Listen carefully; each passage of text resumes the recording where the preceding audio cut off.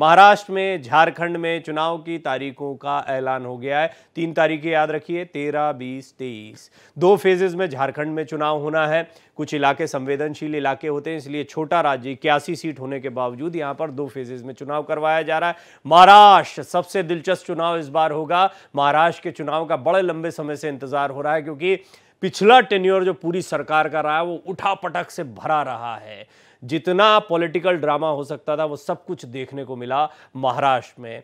इसमें शुरुआती दौर में ही सरकार का बन जाना, अजीत पवार का जाना, फिर एकदम से उद्धव ठाकरे का महाविकास अघाड़ी के साथ में चले जाना, फिर उसके बाद में शिंदे का टूट कर चले जाना, फिर अजीत पवार का साथ में आ जाना, ये सब कुछ महाराष्ट्र में इन पिछले बीते पाँच सालों में होता रहा है। बहुत कुछ देखने को मिला यहाँ पर। और मुख्यमंत्री उप मुख्यमंत्री की भूमिका में दिखाई दिए, जैसे देवेंद्र फडणवीस जो हैं, उन्होंने उप मुख्यमंत्री की कुर्सी संभाली।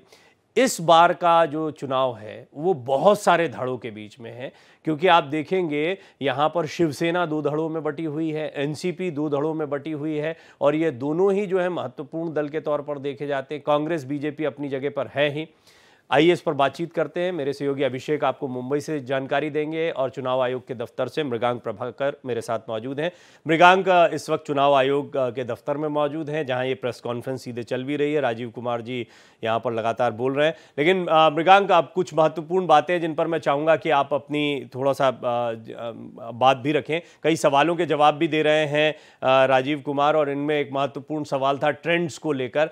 तो मुझे ऐसा लगता है कि चुनाव आयोग बड़ा सतर्क रहता है, क्योंकि बहुत बहुत बार अभी हाल की राजनीति में तो हमने देखा है विपक्ष के निशाने पर ज़रा ज़रा से में चुनाव आयोग आ जाता है। तो थोड़ा सा ये बताएँ कि आज चुनाव आयोग जो है वो कितना सतर्क आपको दिखाई दिया और साथ ही साथ में ये जो पूरा कार्यक्रम उन्होंने बनाया है दोनों चुनाव का, इसको कैसे देखते हैं?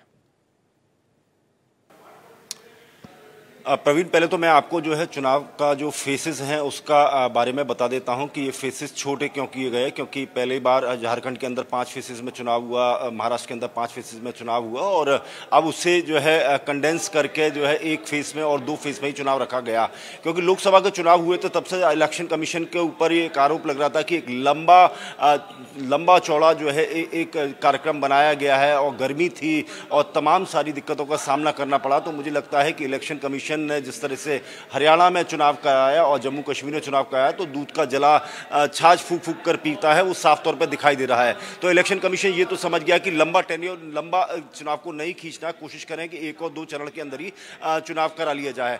कुछ इलाके वो होते हैं, जैसे झारखंड, मसलन झारखंड का उसमें दो फेस में है तो वो इलाके होंगे जहाँ पे आसानी से चुनाव कराया जा सकता है, क्योंकि डिप्लॉयमेंट ऑफ़ द फोर्सेस आसानी से हो सकती है और और जो फेसेस है, उनके बीच में ज़्यादा लंबा गैप ना रखा जाए। ज़्यादा से ज़्यादा तीन या चार दिन का रखा जाए ताकि जो है सहूलियत के हिसाब से जो है चुनाव कराया जा सके।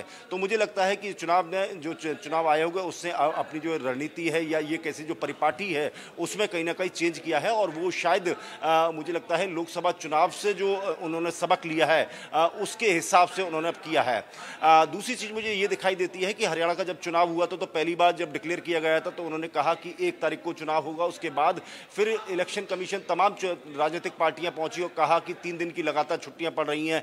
ज़्यादातर वोटर जो है घर के बाहर चले जाएँगे, इसलिए आप चुनाव जो है छुट्टियों के बाद रखें। तो इलेक्शन कमीशन ने फिर उसको चुनाव आयोग ने उसको बदला डेट को बदला और पाँच तारीख किया गया। तो अब यहाँ जो दिखाई देता है, साफ़ तौर पर यह दिखाई देता है कि तेरह और बीस इसलिए चुना गया है कि ज़्यादातर राज्यों के अंदर दीपावली का त्यौहार लगभग एक हफ़्ते चलता है तो चार पाँच तारीख तक वो दीपावली का त्यौहार निबट जाएगा। और जहाँ ये चुनाव हो रहे हैं, महाराष्ट्र में, उसमें उत्तर भारतीय और बिहार के लोग ज़्यादा हैं। तो वहाँ पर जो मास मूवमेंट होगा, छठ की पूजा के लिए और लोग दस या बारह तारीख के आसपास लौटेंगे तो शायद मुझे लगता है उसका भी ध्यान रखा गया है कि पंद्रह बीस पंद्रह तारीख तक जो है ज़्यादातर लोग अपने काम पर लौट आएँगे। इसलिए महाराष्ट्र के अंदर बीस तारीख का चुनाव रखा गया है।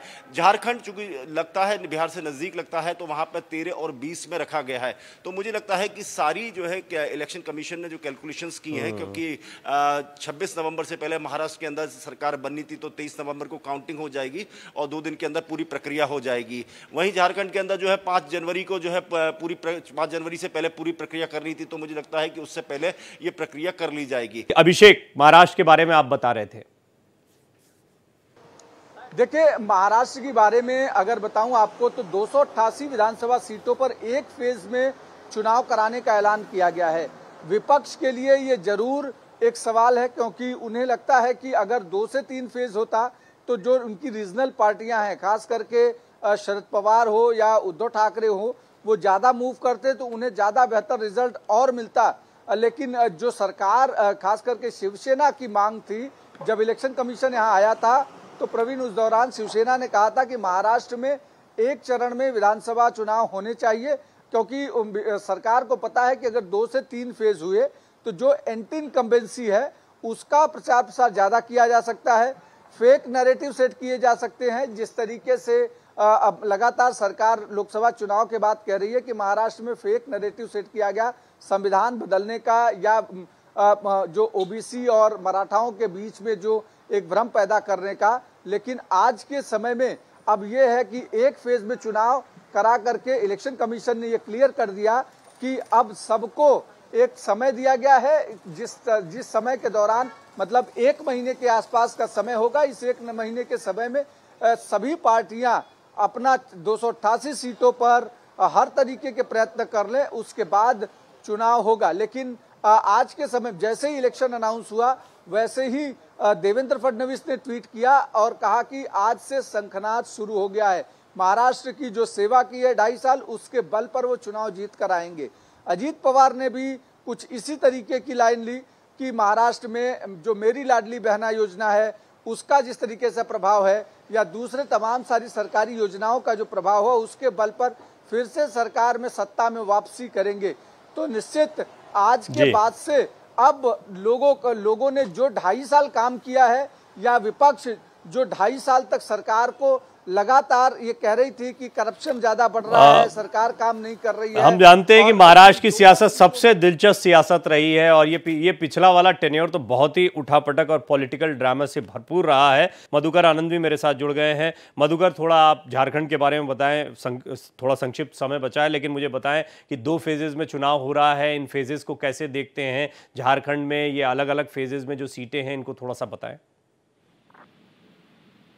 देखिए, प्रवीण जी, अगर संक्षेप में बात की जाए तो झारखंड में अप्रत्याशित रूप से दो चरणों में चुनाव कराया जा रहा है और इसका कारण दिन में भी जब हम बात कर रहे थे तो हम लोग उम्मीद ये किए थे कि तीन से चार चरण में होगा, तीन तो ज़रूर होगा, लेकिन दो चरणों में चुनाव हो रहा है और इसका एक महत्वपूर्ण कारण मुझे जो लगता है कि बीते पाँच वर्षों के दौरान झारखंड में नक्सली समस्या का बहुत हद तक समाधान हुआ है।